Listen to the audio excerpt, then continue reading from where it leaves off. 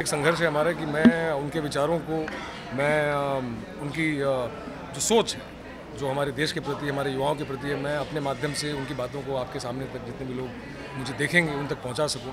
तो बहुत ही बड़ी ज़िम्मेदारी का एहसास होता है और आप सबकी शुभकामनाएँ चाहिए। बड़ों का आशीर्वाद चाहिए कि हम निभा सकें इसको बहुत अच्छे से। कितने टाइम से आप बामले बाबा रामदेव को फॉलो कर रहे हैं? उनकी उनकी योगा उनके स्टाइल को कितना आपने अपने अंदर इंटेक किया है?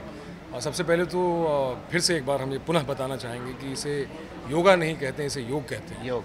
योग कहते हैं क्योंकि योगा वो बाहर वालों ने हमें दिया है और हम अपनी जड़ें भूल चुके हैं तभी योग भूल के हम योगा पे चले जा चुके हैं। तो वापस फिर से स्वामी जी की भी एक बात है कि आप योगा ना करें आप योग करें। और योग ही एक माध्यम है स्वामी जी की बात है कि योग ही एक माध्यम है जो पूरे देश को पूरे आवाम को स्वास्थ्य और सौभाग्य का मार्ग दिखाएगा। क्या आप स्वामी जी से मिले थे कि क्योंकि आपको उनके साथ उनका कैरेक्टर किस तरह से बात करते हैं? किस तरह से चलते किस तरीके से अपने क्या बोलते हैं ऑडियंसेस को ट्रीट करते हैं तो आपने सीखा उनके साथ रहकर? हाँ जब मैं उनसे मिला था तो वो वन ऑन वन मुलाकात थी। वो बहुत सारी जनता के सामने मैं उसमें उनसे मिल नहीं पाया था, क्योंकि वहाँ पे शिविर नहीं हो रहा था, उस वक्त उस टाइम पर पर उनसे मिलने के बाद वो तीन दिन मुझे बहुत ही मेरे जीवन के महत्वपूर्ण हैं। क्योंकि अपने पिताजी के बाद मैं किसी इंसान से मिला था जो मुझे इतना प्रेरित कर सकता है, वो स्वामी जी थे और उनके विचारों से बड़े प्रभावित हुए। तो फिर से अपने आप को बहुत सौभाग्यशाली मानते हैं कि मुझे काम करने का अवसर मिला। और स्वामी जी से जब मिले थे तो उन्होंने मेरी परीक्षा ली। एक विचारों की परीक्षा होती है कि मैं उनके विचारों से कितना सहमत हूँ, मैं कितना ताल्लुक़ रखता हूँ और कितने विचारों को मैं जानता हूँ।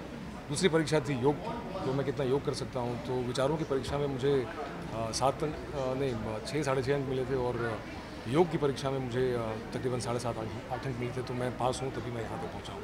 योग भी करते हैं और साथ साथ बिज़नेस भी करते हैं तो कुछ बिज़नेस स्ट्रैटेजी आपने को किस तरह का उनका दिन भर का रहता है कुछ बताना चाहेंगे? जब मैं उनसे मिला था तो करोड़ों का बिज़नेस है उनका। हाँ बिल्कुल। कई सारे मल्टीनेशनल नहीं वो बिज़नेस एक तरह से वो देश के लिए ही है क्योंकि स्वदेशी है। आप कहीं भी देखें तो किसी भी प्रोडक्ट में आपको मेड इन इंडिया बहुत कम दिखता है या भारत में निर्मित। मेड इन इंडिया दिखेगा पर भारत में निर्मित ही बहुत कम दिखता है। तो और स्वामी जी की दिनचर्या जहाँ तक देखें तो मैं एक एक एक दिन मुझे उनसे मिलना था तकरीबन साढ़े छः बजे सुबह। और वो हरिद्वार में ठंड आप जानते हैं, एक महीने पहले कितनी होती है, कोहरे बिल्कुल कुछ दिखता नहीं था यहाँ से एक मीटर भी। तो जब मैं वहाँ पहुँचा उनके घर पे, उनके आवास पे तो मैंने देखा वो भाग रहे हैं। वो जॉगिंग कर रहे थे, अपनी योग की तैयारी कर रहे थे तो उन्होंने मुझे देखा, उन्होंने मुझे भी बुला लिया। और फिर उनके साथ मैं भी भागा मैंने भी उनके साथ योग किया जितना मुझसे संभव था। और उसके बाद हमारी तकरीबन सात से आठ घंटे एक वन ऑन वन मीटिंग हुई और बहुत सारी बातें हुई। अब कितना वक्त शायद आप लोग देंगे नहीं कि मैं आपको बता सकूँ। उसके लिए बाकी के लिए आप शो देखें। स्वामी रामदेव एक संघर्ष। बारह फरवरी से Discovery channel Jeet thank you so much thank you thank you thank you so much